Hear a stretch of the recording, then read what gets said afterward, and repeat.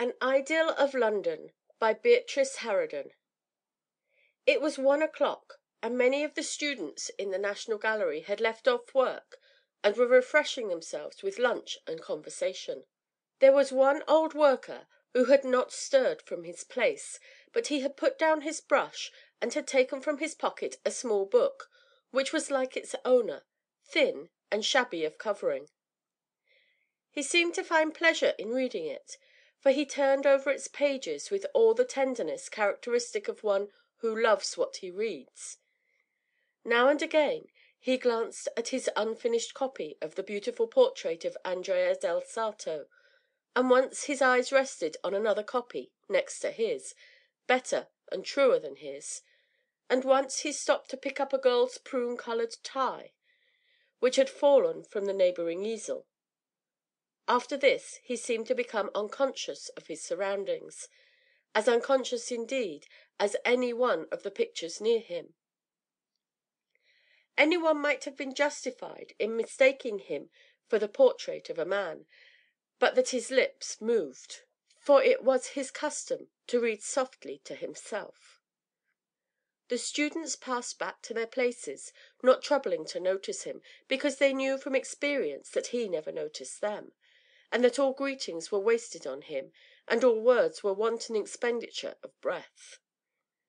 They had come to regard him very much in the same way as many of us regard the wonders of nature, without astonishment, without any questionings, and often without any interest.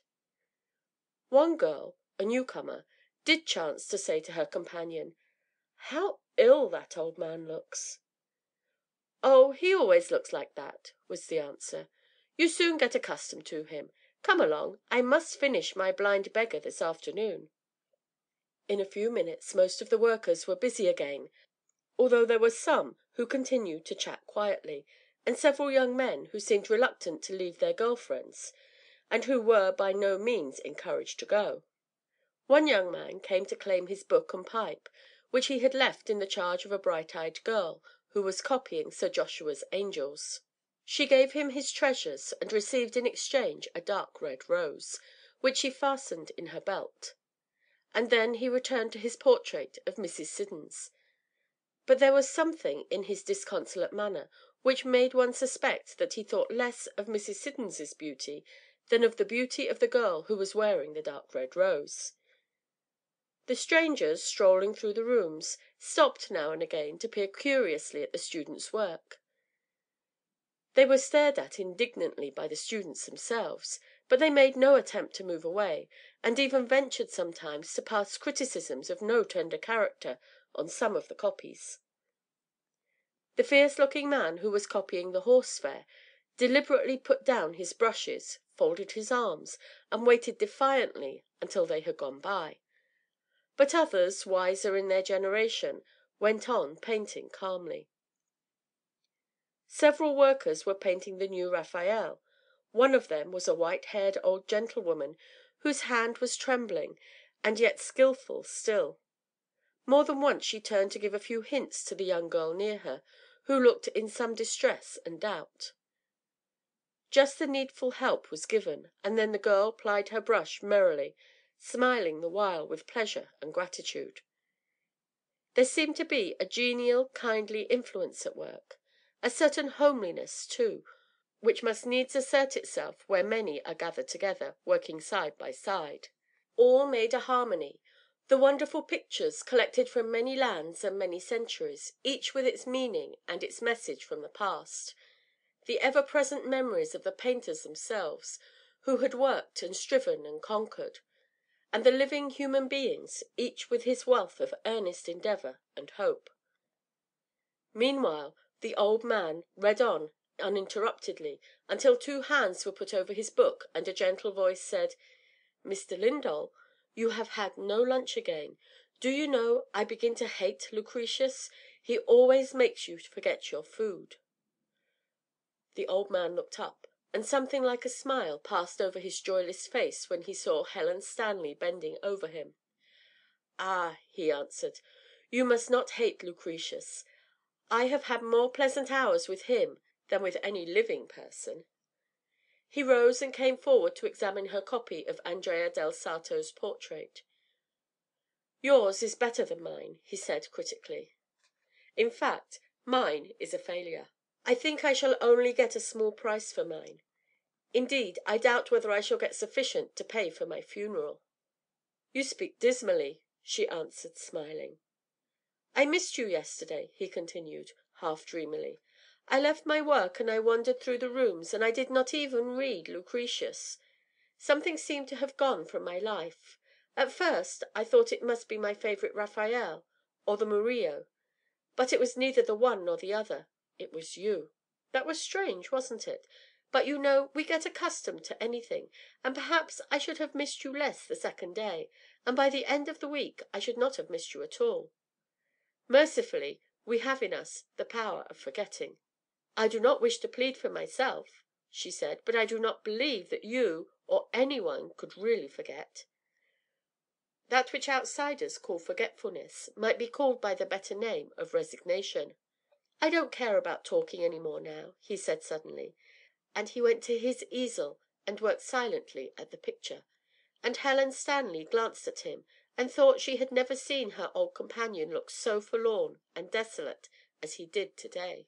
He looked as if no gentle hand had ever been placed on him in kindliness and affection, and that seemed to her a terrible thing, for she was one of those prehistorically minded persons who persist in believing that affection is as needful to human life as rain to flower life. When first she came to work at the gallery, some twelve months ago, she had noticed this old man, and had wished for his companionship.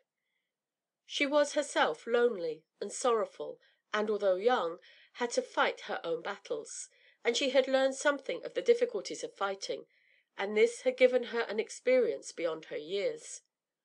She was not more than twenty four years of age, but she looked rather older, and, though she had beautiful eyes, full of meaning and kindness, her features were decidedly plain as well as unattractive. There were some in the gallery who said among themselves that, as Mr. Lindall had waited so many years before talking to anyone, he might have chosen someone better worth the waiting for; but they soon became accustomed to seeing Helen Stanley and Mr. Lindall together, and they laughed less than before; and meanwhile the acquaintance ripened into a sort of friendship, half sulky on his part, and wholly kind on her part. He told her nothing about himself and he asked nothing about herself. For weeks he never even knew her name. Sometimes he did not speak at all, and the two friends would work silently side by side until it was time to go, and then he waited until she was ready, and walked with her across Trafalgar Square, where they parted and went their own ways. But occasionally, when she least expected it, he would speak with glowing enthusiasm on art. Then his eyes seemed to become bright and his bent figure more erect, and his whole bearing proud and dignified. There were times, too, when he would speak on other subjects on the morality of free thought, on Bruno, of blessed memory, on him, and scores of others too. He would speak of the different schools of philosophy; he would laugh at himself and at all who, having given time and thought to the study of life's complicated problems, had not reached one step further than the old world thinkers. Perhaps he would quote one of his favourite philosophers, and then suddenly relapse into silence, returning to his wonted abstraction and his indifference to his surroundings. Helen Stanley had learned to understand his ways and to appreciate his mind, and, without intruding on him in any manner, had put herself gently into his life as his quiet champion and his friend. No one in her presence dared speak slightingly of the old man, or to make fun of his tumble down appearance, or of his worn out silk hat with a crack in the side, or of his rag of a black tie, which, together with his overcoat, had seen better days. Once she brought her needle and thread, and darned the torn sleeve during her lunch time, and, though he never knew it, it was a satisfaction to her to have helped him. To day she noticed that he was painting badly, and that he seemed to take no interest in his work. But she went on busily with her own picture, and was so engrossed in it that she did not at first observe that he had packed up his brushes and was preparing to go home. "Three more strokes," he said quietly, "and you will have finished your picture. I shall never finish mine. Perhaps you will be good enough to set it right for me. I am not coming here again. I don't seem to have caught the true expression. What do you think?"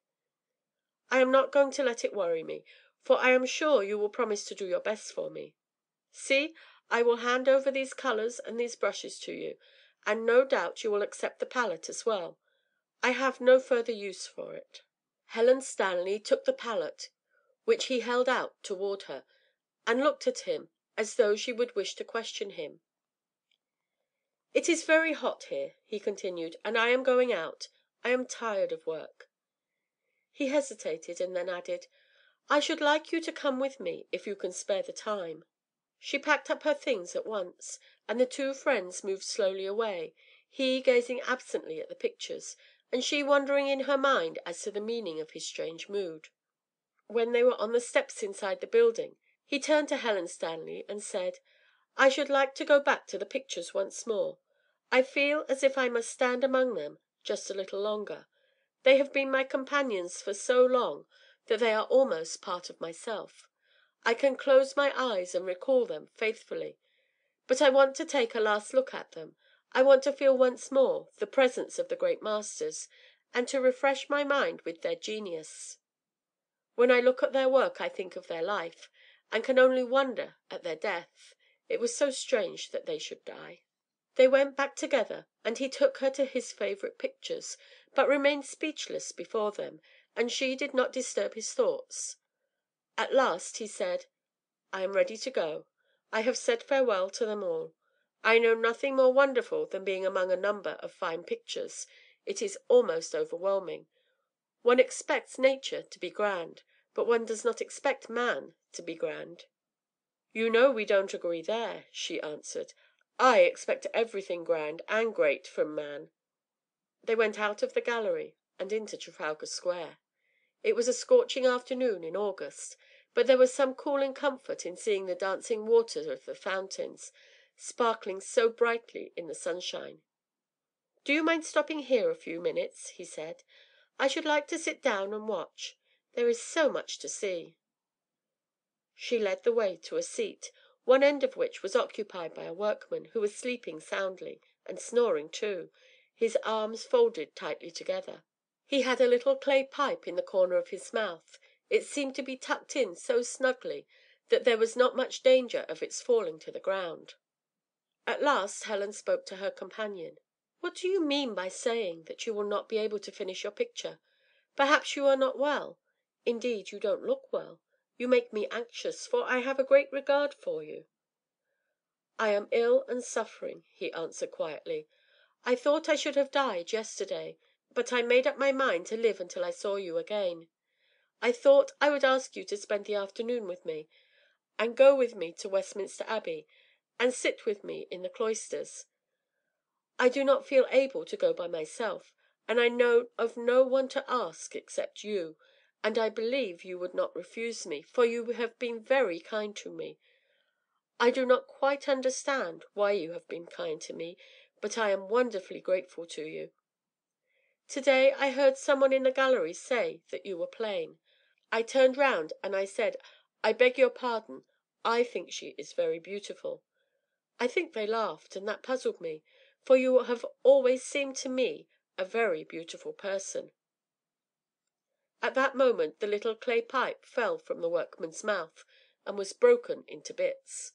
He awoke with a start, gazed stupidly at the old man and his companion, and at the broken clay pipe. "Curse my luck!" he said, yawning. "I was fond of that damned little pipe." The old man drew his own pipe and his own tobacco pouch from his pocket.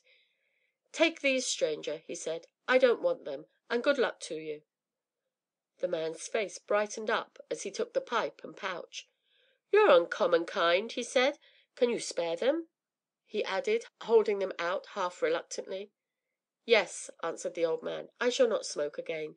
You may as well have these matches too." The labourer put them in his pocket, smiled his thanks, and walked some little distance off. and Helen watched him examine his new pipe, and then fill it with tobacco and light it. Mr. Lindall proposed that they should be getting on their way to Westminster, and they soon found themselves in the Abbey. They sat together in the Poet's Corner. A smile of quiet happiness broke over the old man's tired face, as he looked around and took in all the solemn beauty and grandeur of the resting place of the great. "You know," he said, half to himself, half to his companion, "I have no belief of any kind, and no hopes and no fears; but all through my life it has been a comfort to me to sit quietly in a church or a cathedral. The graceful arches, the sun shining through the stained windows, the vaulted roof, the noble columns, have helped me to understand the mystery which all our books of philosophy cannot make clear, though we bend over them year after year, and grow old over them, old in age and in spirit. Though I myself have never been outwardly a worshipper, I have never sat in a place of worship but that, for a time being, I have felt a better man. But directly the voice of doctrine or dogma was raised, the spell was broken for me, and that which I hoped was being made clear had no further meaning for me. There was only one voice which ever helped me the voice of the organ, arousing me, thrilling me, filling me with strange longing, with welcome sadness, with solemn gladness. I have always thought that music can give an answer when everything else is of no avail. I do not know what you believe." "I am so young to have found out," she said, almost pleadingly. "Don't worry yourself," he answered kindly. "Be brave and strong, and let the rest go. I should like to live long enough to see what you will make of your life. I believe you will never be false to yourself or to any one. That is rare. I believe you will not let any lower ideal take the place of your high ideal of what is beautiful and noble in art, in life. I believe that you will never let despair get the upper hand of you. If it does you may as well die. Yes, you may as well. And I entreat you not to lose your entire faith in humanity. There is nothing like that for withering up the very core of the heart. I tell you, humanity and nature have so much in common with each other that if you lose part of your pleasure in the latter, you will see less beauty in the trees, the flowers, and the fields, less grandeur in the mighty mountains and the sea. The seasons will come and go, and you will scarcely heed their coming and going.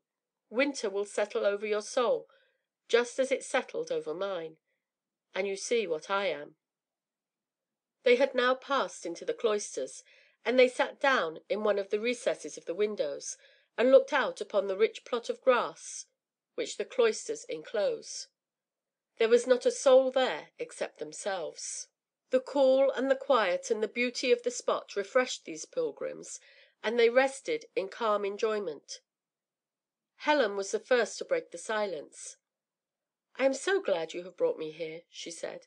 "I shall never grumble now at not being able to afford a fortnight in the country. This is better than anything else." "It has always been my summer holiday to come here," he said. "When I first came I was like you, young and hopeful, and I had wonderful visions of what I intended to do and to be. Here it was I made a vow that I would become a great painter, and win for myself a resting place in this very Abbey. There is humour in the situation, is there not?" "I don't like to hear you say that," she answered. "It is not always possible for us to fill all our ambitions. Still, it is better to have them and failed of them than not to have them at all." "Possibly," he replied coldly. Then he added: "I wish you would tell me about yourself. You have always interested me." "I have nothing to tell you about myself," she answered frankly. "I am alone in the world, without friends and without relations. The very name I use is not a real name. I was a foundling. At times I am sorry I do not belong to anyone, and at other times I am glad. You know I am fond of books and of art, so my life is not altogether empty, and I find my pleasure in hard work. When I saw you at the gallery I wished to know you, and I asked one of the students who you were. He told me you were a misanthrope. Then I did not care so much about knowing you, until one day you spoke to me about my painting. And that was the beginning of our friendship. Forty years ago," he said sadly, "the friend of my boyhood deceived me. I had not thought it possible that he could be false to me. He screened himself behind me, and became prosperous and respected at the expense of my honour. I vowed I would never again make a friend. A few years later, when I was beginning to hold up my head, the woman whom I loved deceived me. Then I put from me all affection and all love. Greater natures than mine are better able to bear these troubles, but my heart contracted and withered up." He paused for a moment, many recollections overpowering him. Then he went on telling her the history of his life, unfolding to her the story of his hopes and ambitions, describing to her the very home where he was born, and the dark eyed sister whom he had loved, and with whom he had played over the daisied fields, and through the carpeted woods, and all among the richly tinted bracken. One day he was told she was dead, and that he must never speak her name. But he spoke it all the day and all the night Beryl, nothing but Beryl. And he looked for her in the fields and in the woods and among the bracken. It seemed as if he had unlocked the casket of his heart, closed for so many years, and as if all the memories of the past and all the secrets of his life were rushing out, glad to be free once more, and grateful for the open air of sympathy. "Beryl was as swift as a deer!" he exclaimed. "You would have laughed to see her on the moor. Ah, it was hard to give up all the thoughts of meeting her again. They told me I should see her in heaven, but I did not care about heaven. I wanted Beryl on earth, as I knew her, a merry laughing sister. I think you are right. We don't forget; we become resigned in a dead, dull kind of way." Suddenly he said: "I don't know why I have told you all this, and yet it has been such a pleasure to me. You are the only person to whom I could have spoken about myself, for no one else but you would have cared." "Don't you think," she said gently, "that you made a mistake in letting your experiences embitter you? Because you had been unlucky in one or two instances, it did not follow that all the world was against you. Perhaps you unconsciously put yourself against all the world, and therefore saw every one in an unfavourable light. It seems so easy to do that. Trouble comes to most people, doesn't it? and your philosophy should have taught you to make the best of it. At least, that is my notion of the value of philosophy." She spoke hesitatingly, as though she gave utterance to these words against her will.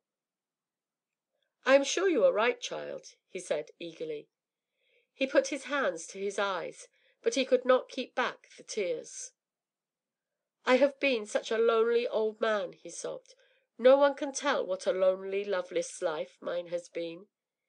If I were not so old and so tired, I should like to begin all over again." He sobbed for many minutes, and she did not know what to say to him of comfort.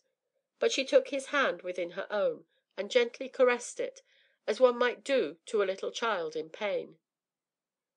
He looked up and smiled through his tears. "You have been very good to me," he said and I dare say you have thought me ungrateful. You mended my coat for me one morning, and not a day has passed but that I have looked at that darn and thought of you. I like to remember that you had done it for me, but you have done far more than this for me. You have put some sweetness into my life. Whatever becomes of me hereafter, I shall never be able to think of my life on earth as anything but beautiful, because you thought kindly of me and acted kindly for me. The other night, when this terrible pain came over me, I wished you were near me. I wish to hear your voice. There is very beautiful music in your voice."